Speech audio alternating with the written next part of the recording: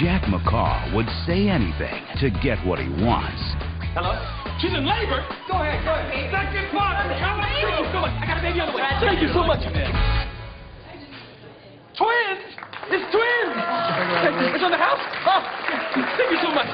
But he just lied You agree to have my book published? That goes without saying. You have my word, sir. to the wrong guy. What the hell was that? You and this tree are now connected. Hello?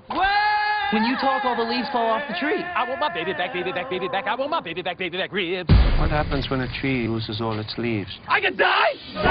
What do I got, a thousand words left? Can we talk? So what do you say we make a deal? Hello, Jack. Yeah. Good. Venti, triple shot latte. Iced latte. Extra milk? with the pointing and the grunting. Just be here with me right now. You know you make me wanna...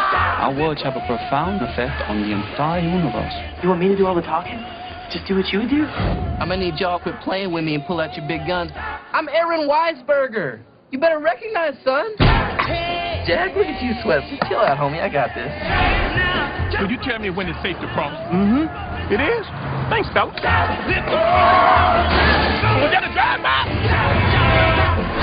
5,000 words.